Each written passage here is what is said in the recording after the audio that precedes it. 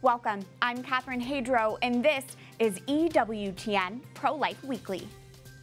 Condemning comments, Speaker of the House Nancy Pelosi, a prominent Catholic politician, calls pro lifers sellouts and hypocrites in a recent interview. We speak with Pelosi's Archbishop, Archbishop Cordileone of San Francisco, for his reaction to her comments, which contradict church teaching. A legacy of life. The godfather of the pro life movement, Joe Scheidler, has died. His son joins us to recount his father's pioneering work for the pro life cause.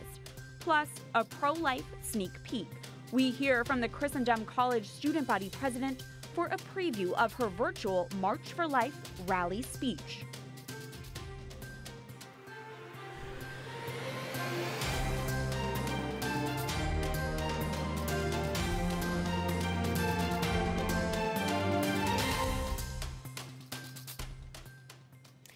House Speaker Nancy Pelosi, the most prominent Catholic politician in the U.S. after President Joe Biden, recently criticized the pro life movement's efforts to stand up for the unborn. In a podcast interview with former Secretary of State Hillary Clinton last week, Pelosi accused pro lifers of putting their opposition to abortion over the principle of democracy and accused pro lifers of being sellouts. Take a listen. And then you take the abortion issue. And many of these people are um, very good people. That's just their point of view. But they were willing to sell the whole democracy down the river for that one issue.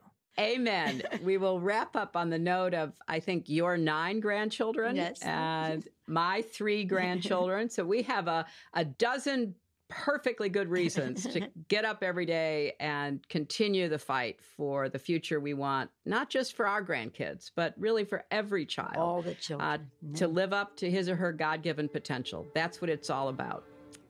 That was the voice of former Secretary of State Hillary Clinton agreeing with Pelosi's comments on abortion. Pelosi continued to slam pro lifers, saying people who reject abortion should, quote, love contraception and anyone with opposing views are hypocrites if they don't have large families. The Archbishop of San Francisco, who is Pelosi's Archbishop, quickly provided a strong response, saying the House Speaker does not speak for the Catholic Church. Archbishop Salvatore Cordileone released a statement saying, in part, quote, to begin with the obvious, Nancy Pelosi does not speak for the Catholic Church. She speaks as a high level, important government leader and as a private citizen he continued. And on the question of the equal dignity of human life in the womb, she, Pelosi, also speaks in direct contradiction to a fundamental human right that Catholic teaching has consistently championed for 2,000 years. Joining us now via Skype is Archbishop Salvatore Cordileone of the Archdiocese of San Francisco. Your Excellency, welcome to the show. I just read part of your statement to our viewers, responding to House Speaker Nancy Pelosi's recent comments on pro lifers. But can you expand? What are your thoughts to what the House Speaker, a Catholic, had to say about the pro life movement, particularly about pro lifers being sellouts? There are two aspects to her comments that uh, bothered me very much. One is uh, we know how bitterly divided and polarized the country is. We have President Biden speaking a lot about unity and healing in his inaugural address, he said we have to get past this red versus blue and conservative versus liberal. We need humility and tolerance and walk in the other person's shoes. Now, whether or not he actually pursues a path of unity is another question, but this is what he's talking, and everyone knows this is a need. So uh, when she dismisses people who give priority to the abortion issue in guiding their decision how to vote, uh, uh, as selling out our democracy, this is heightening and worsening the polarization. It's the exact opposite of what we need to be doing. I've been hearing and reading for years and years about this that we need to pay attention to people who think differently than we are. Mm-hmm. And but I don't see people doing it, and this is an example of how this is just one of many examples mm-hmm. of how that can contributes to it and it worsens the situation. Mm-hmm. The other thing is how she's misguiding so many Catholics who uh, think that because she is a prominent political leader, a very important person in our, mm-hmm. our country, and Catholic, and that people think it's acceptable for Catholics to to favor abortion, and that's just simply not true. I was very careful how I worded that statement you you cited there. it's it's church teaching, but it's not exclusively church teaching. I mean, this is killing children in the mother's womb, just as killing children outside of the womb, is not something we need revelation to understand is wrong.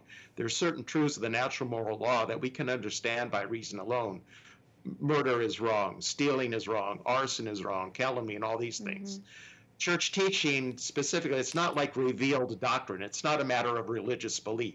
It's a, a fundamental human right that church teaching reinforces, champions, and promotes mm-hmm. this fundamental human right. Catholics, all, all, matters of justice, Catholics mm-hmm. favor and promote. One of the most troubling remarks to me was when the House Speaker said people who oppose abortion should love contraception and pro lifers are hypocrites if they don't have large families. Your thoughts on those specific remarks? Just look around. We've had a contraceptive culture for the last 50 years. Do you see any diminishment of, of abortion because people are using contraception?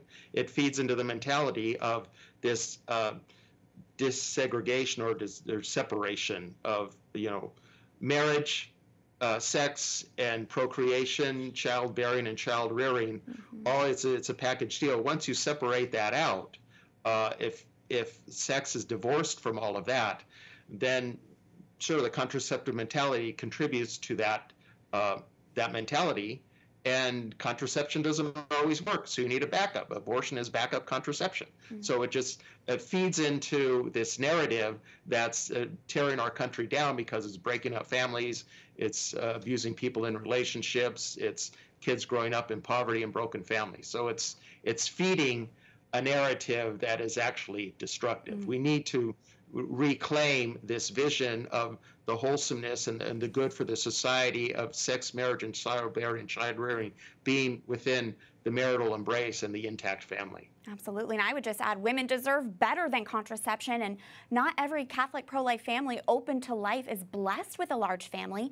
God is the author of life. Uh, Your Excellency, can you explain? You, you mentioned this earlier, but why is it truly scandalous when prominent Catholic politicians advance and support policies which directly contradict the church? And of course, we know House Speaker Pelosi is not the only pro abortion Catholic politician. We're about one week into a President Joe Biden administration, only the second Catholic U.S. president.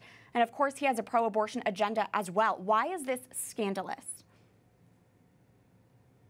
It contradicts the church, again, on these issues of fundamental human rights and, and, and justice. Uh, I mean, it would be bad enough if they were to say something like, "Oh, I don't believe Christ is really present in the Eucharist." That would be specifically contradicting the church. But this is contradicting the church on a matter that is not specifically Catholic doctrine. Again, this is a matter of mm-hmm. fundamental human rights. So we have political leaders championing an injustice and people thinking that that's okay for Catholics to do, but it's not. Catholics cannot favor anything that is evil. We don't. We oppose evil. The killing of children in their mother's womb is evil. We need to give women real choice. Uh, it, it really uh, uh, unveils the lie behind the pro choice rhetoric. Mm-hmm. Uh, those of us in pastoral ministry, we hear women say that I didn't want to go through with it, but I felt like I had no choice. Mm-hmm.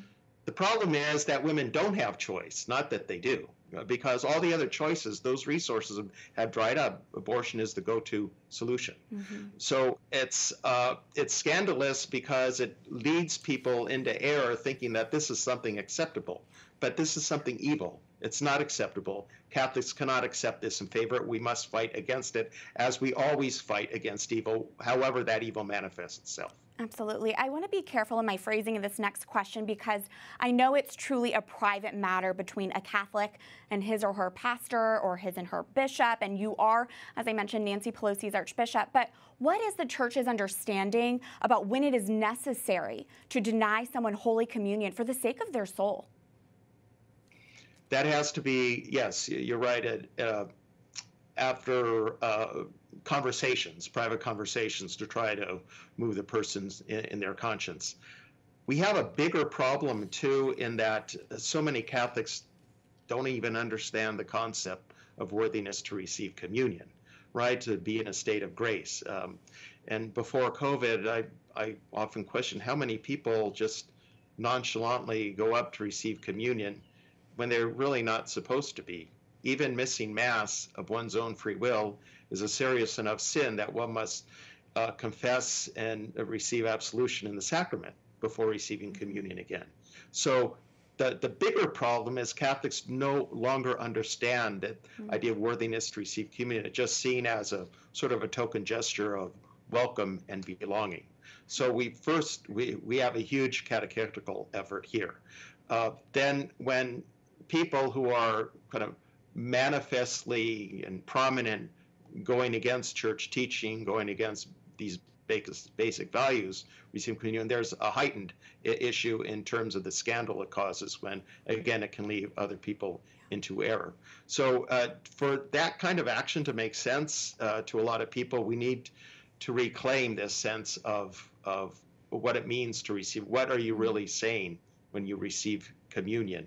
It, to me, it goes hand in hand with this decline in the belief of the real presence of Christ in the Eucharist. So uh, the bishops now have a, the USCCB, we formed a, a, working group to focus on what we call Eucharistic coherence. So mm. it, it's a very important issue, but it's part of this bigger picture. Absolutely.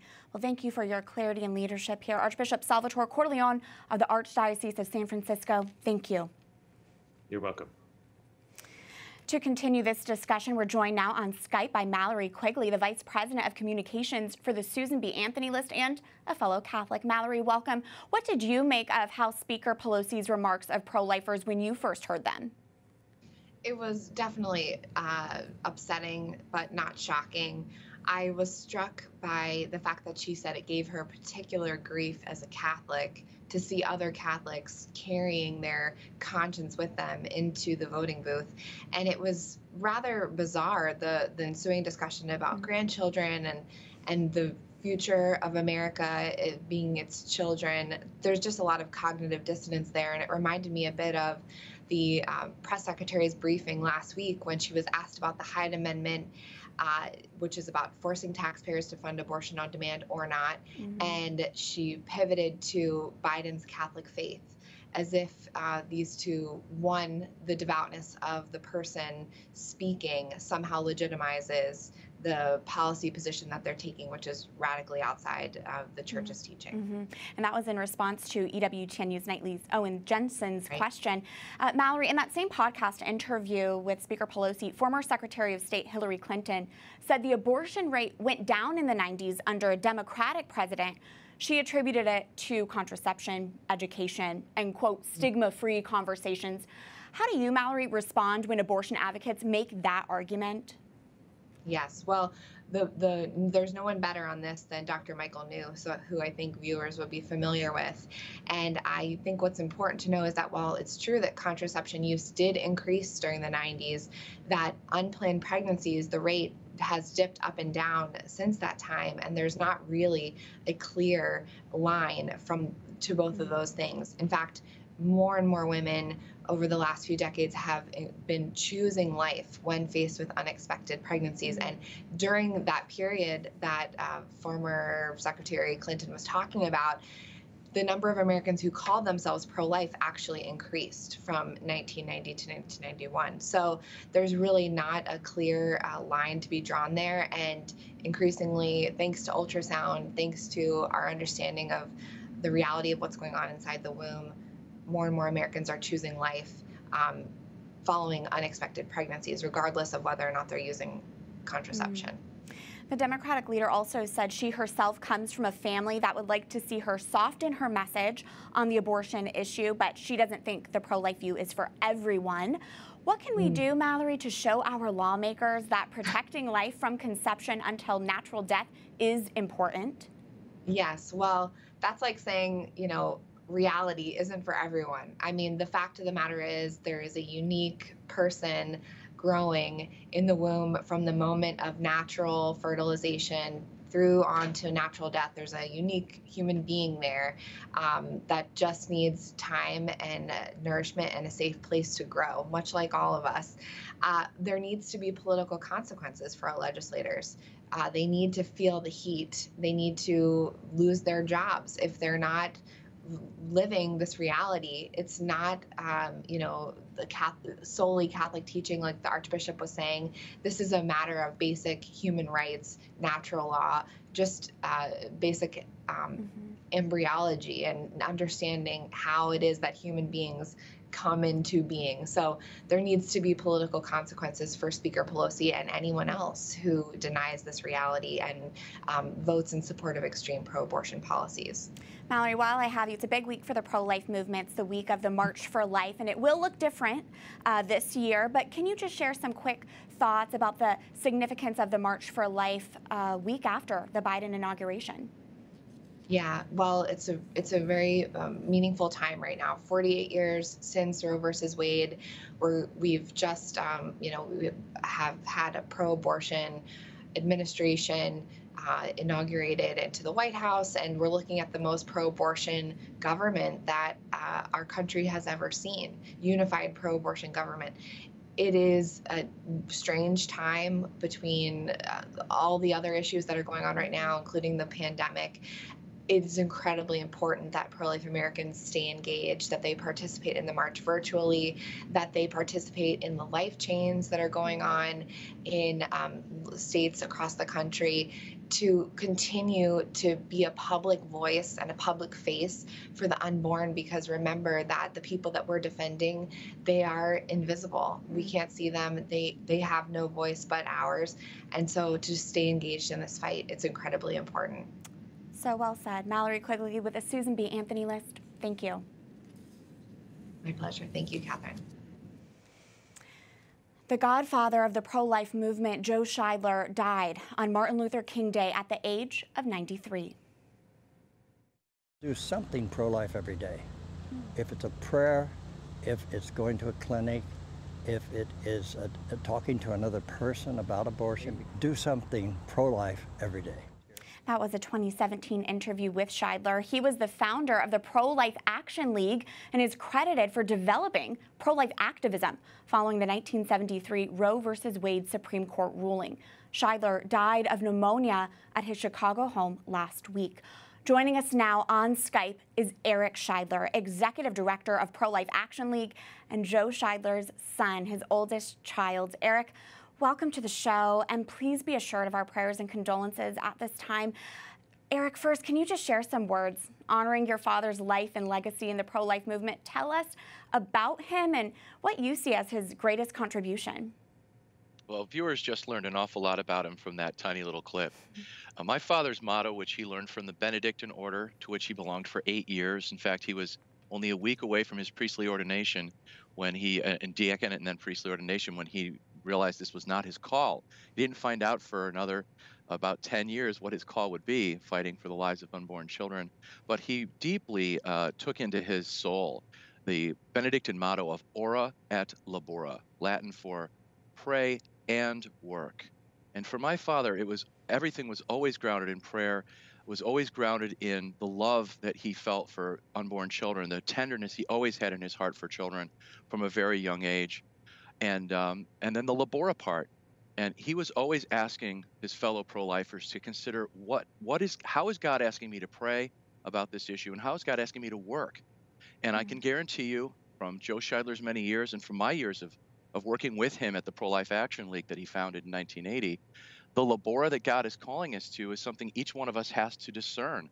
And i can promise you that it is not complaining about bishops not doing what they should hmm. or waiting for somebody else to take action or you know being angry about the media misportraying us the labora the work that god is calling each one of us to do is direct and and involves mm. saving lives he wanted us to be active outside the abortion facilities and i couldn't help but hmm. reflect on that mission as he was dying surrounded by family he died in his own bed surrounded by a loving family hearing words of consolation what a contrast that is to the 850 or 900,000 unborn children who die in abortion totally and utterly abandoned unless we're there. If we're there to mourn for them, as, as my father called us to do, then we are there doing an incredible act of mercy saying no to the culture that has abandoned them and giving them the only act of love they'll ever receive this side of eternity. Mm. And that's really his legacy is calling on us to love unborn children, to love their mothers, and to do everything we can to bring this, the loving, saving grace of Christ to them. That's so beautiful. Eric, your father went from being a PR professional to a pro life pioneer. Wasn't it truly the Roe v. Wade ruling that motivated him to create Pro Life Action League with your mother and to develop sidewalk counseling? That's right. He he was in, at, home sick with pneumonia, ironically enough, Mm. um, and he was a very healthy man. He very rarely, rarely took a sick day, and uh, he was home when the Roe v. Wade ruling was handed down, and he couldn't believe what he was reading in the paper. He pored over those rulings. He called them a suicide note, a suicide note that America had written to itself, and that uh, if we followed, we were going to see the end of respect for any human life in our culture. And what have we seen? Yeah. We've seen the tearing apart of the family. We've seen increasing polarization. We've seen dehumanizing of our fellow citizens, and and all of this flows from that same culture behind that ruling. Mm. And and he knew he had to get involved. He knew he had to take action. And so he founded the Pro Life Action League after several years working with different organizations because he wanted to put regular people to work in the way that he saw Dr. Martin Luther King Jr. do. So Wow. incredible moment that he happened to pass on the day we were remembering Martin Luther King. He had marched with King in 1965 when he was a teacher at Mundelein College in Chicago. He had seen what can happen when people take personal responsibility for redressing an injustice in their culture. And that's what the Pro Life Action League is about. That's what Joe Scheidler was all about. And uh, as much as we miss him, it is a tremendous honor to be able to carry on his mm. legacy and share his story with another generation. Oh my goodness, absolutely. And I only have about a minute left, Eric, but I just want to mention your father had a case that went to the Supreme Court three times, and he finally won unanimously. I know it was a case that dragged on for decades. Can you give just a quick little snapshot into the significance of that case for the pro life movement?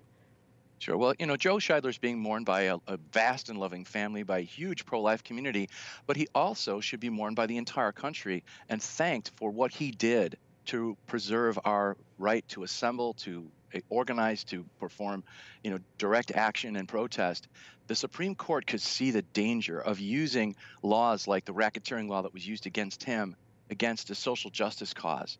And so his case, NOW versus Scheidler, the longest running case in U.S. federal court history, uh, established a, a basis of freedom that generations of Americans will be benefiting from going into the future.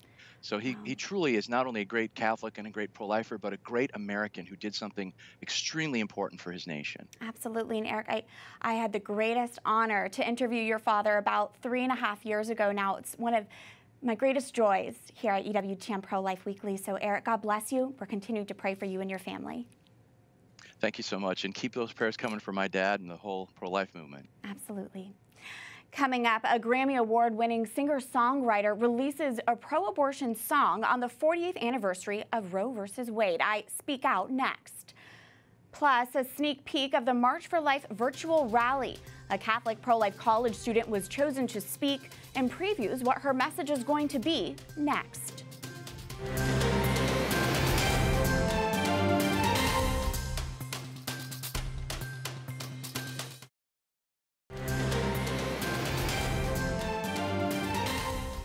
Welcome back to EWTN Pro Life Weekly. I'm Catherine Hadro.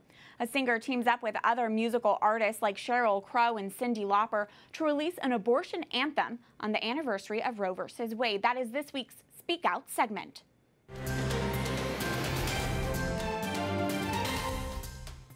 Singer songwriter Amanda Shires released the song Our Problem on the 48th anniversary of Roe v. Wade. The song is about the conversations women have when deciding whether or not to get an abortion. Shires enlisted the help of musical heavyweights ranging from Cyndi Lauper, Linda Perry, and Sheryl Crow on bass.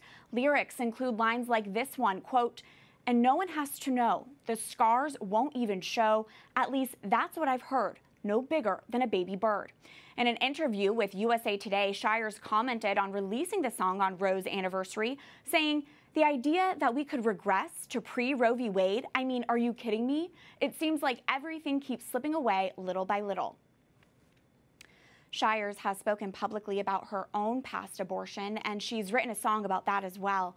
The singer songwriter says for this song, Our Problem, she wanted to highlight female friendship and their unconditional support and empathy towards women who undergo an abortion. To be clear, for any woman who has undergone an abortion, you have our love, you have our empathy and our mercy. You are welcome and loved in the church. There is healing and mercy here. And some of our most prominent pro life leaders are women who have previously undergone abortions. But true loving sisterhood and true compassion does not mean supporting, enabling, and encouraging abortion in any way. It means if you come to us asking for our advice about getting an abortion, it means telling the truth that abortion ends the life of a child, that it's not just a quick solution for a temporary problem, its ramifications will last forever. True sisterhood and true friendship means empowering women to choose life and then to be there to support them when they do that. That might mean financially or emotionally, it might take different forms. But as our own Mother Angelica once said, those who tell the truth love you. Those who tell you what you want to hear love themselves. Let us pray for healing for all women who have undergone abortions, that they may experience God's radical love and healing. And let us pray that our culture is courageous in speaking truth about life.